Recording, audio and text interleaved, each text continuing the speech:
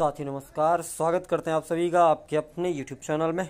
उनहत्तर हज़ार शिक्षक भर्ती, उत्तर कुंजी प्रकरण। आज उत्तर प्रदेश के समस्त मीडिया बंधु को, जितने भी हमारे पत्रकार महोदय हैं, सभी का जो मैं बहुत बहुत धन्यवाद ज्ञापित करता हूँ कि आप सभी ने मुद्दे को एक बार पुनः जो है जीवित किया और अपने न्यूज़पेपरों के माध्यम से इसका प्रकाशन किया। इसके लिए मैं आपको जितना भी धन्यवाद दूँ कम है क्योंकि अभी तक उत्तर कुंजी प्रकरण को हमेशा से ही कभी भी प्रिंट मीडिया के द्वारा दिखाया नहीं गया। चाहे तो ये कितना भी बड़ा मुद्दा रहा हो, हमेशा इसको छुपाया गया, कभी सामने नहीं आया। लेकिन आज जब एक नंबर वाले प्रकरण पे कंटेम्प्ट की सुनवाई हुई, सुनवाई के बाद जिस प्रकार से आज के न्यूज़पेपरों में आप सभी ने छापा है, उसके लिए आप सभी को बहुत बहुत धन्यवाद। और मैं कहूँ कि अब जवाब देना होगा, आपको आना होगा।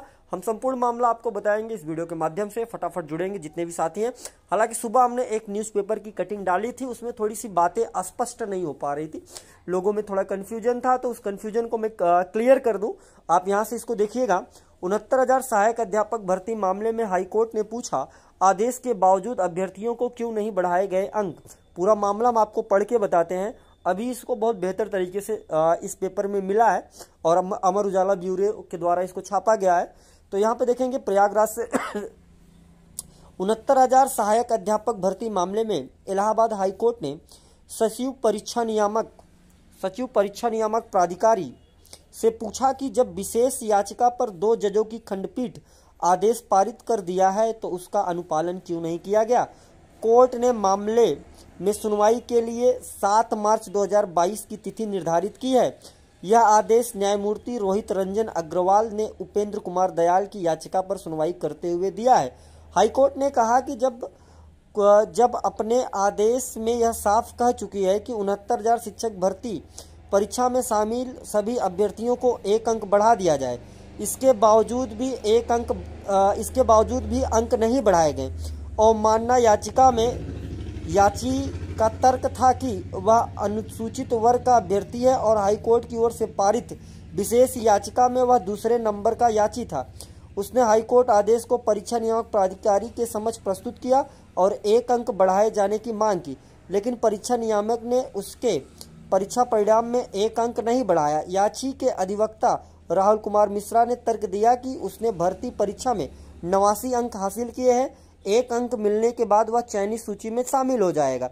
हाईकोर्ट ने मामले में सचिव परीक्षा नियामक प्राधिकारी से जवाब मांगा है। तो देखिए इसमें जो थोड़ा सा आपको लग रहा है कन्फ्यूज़न को तो कहीं ना कहीं मिस टाइपिंग होती है, जिसकी वजह से थोड़ा सा कन्फ्यूज़न होता है। तो आपको सीधा शब्दों में मैं समझाऊं कि एक नंबर का जो मामला था डबल बेंच का जो आदेश आया था डबल बेंच के आदेश को इन्होंने माना नहीं है। तो हमारे द्वारा ये कंटेम्प्ट फ़ाइल किया गया कि भाई आदेश आया, अभी तक माना नहीं गया। उसी पे जो है जवाब मांगा गया नोटिस दिया गया है। सचिव साहब को, और जो एक नंबर से जितने भी साथी रुक रहे हैं, चाहे वो नवासी नंबर पे हो, या फिर वो छियानवे नंबर पे हो। ठीक है, दोनों। ये अनुसूचित जाति और ओबीसी वर्ग का मामला और यहाँ पे जनरल कैटेगरी ये तो ये चीज़ें यहाँ पे सिर्फ़ एससी की बात करी गई तो उससे बहुत ज़्यादा कंफ्यूजन नहीं हुआ।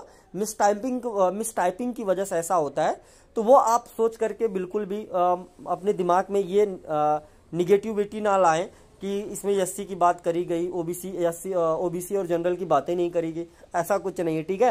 क्योंकि मिसप्रिंट की वजह से ऐसा हो रहा है और इसके पहले भी जो वीडियो हमने डाली थी, वहाँ भी आप कंफ्यूज हो रहे थे। तो आप इस कंफ्यूजन को बिल्कुल ही दूर करें और इस प्रकरण को लेकर के आप फ़ोन कॉल ना करें कि भैया न्यूज़पेपरों में ऐसा छापा है। देखिए न्यूज़पेपरों में उन्हें जो मिलता है, वो छाप देते हैं, ठीक है? तो उसके लिए आप बिल्कुल भी निश्चिंत रहे। हमने जो बताया वही सही है, जो आपके ऑर्डर में लिखा है, वही सही है। उससे इतर कुछ भी नहीं है। आप बिल्कुल भी परेशान ना हो। मिलता रहूँगी इसी प्रकार की जानकारियाँ और सूचनाओं के साथ। तब तक के लिए आप सभी साथियों का बहुत बहुत धन्यवाद।